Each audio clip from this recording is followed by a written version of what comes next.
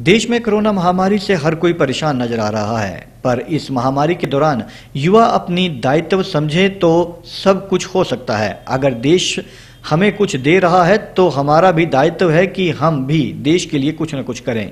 इंसानियत की मांग है कि अब मुसीबत की घड़ी में सब एक दूसरे का सहयोग करें। ये बात गुमारवी उपमंडल के साइकिलिंग एसोसिएशन के प्रभारी सौरभ पटियाल ने कही। कोविड की मात देने के लिए प्रथम पंक्ति में सेवा दे रहे मेडिकल एवं सहयोग स्टाफ के लिए पीपीई किट्स व मास्क वितरित करते समय उन्होंने कहा। उन्होंने कहा कि जिला क्रिकेट के सचिव समाज सेवी तथा युवाओं के आइकन विशाल जगोता की देखरेख में जिला भर के कोविड अस्पतालों को एसोसिएशन की तरफ़ से पीपीई किट व मास्क वितरित किए जा रहे हैं। इसी कड़ी में घुमार में कोविड अस्पताल में 40 पीपीई किट व 600 मास्क खंड चिकित्सा अधिकारी को सौंपे गए।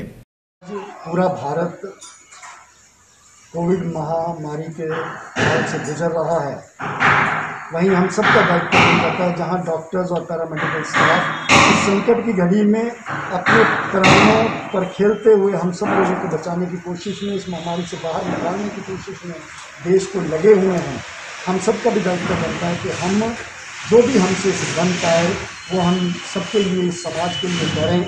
उसी कड़ी में कल पिछले कल हमने साठ की तीन किटें बिलासपुर अस्पताल को दी थी आज इसी कड़ी में घुमारवी के हमारे साइकिलिंग एसोसिएशन और क्रिकेट एसोसिएशन के पदाधिकारियों के साथ घुमारवी में भी चालीस की किटें दी गई और मुझे पूर्ण विश्वास है कि इसी तरह के सामाजिक प्रयासों को साथ लेकर भारत इस कोरोना की लड़ाई से अवश्य जीतेगा जीतेगा भारत, हारेगा कोरोना।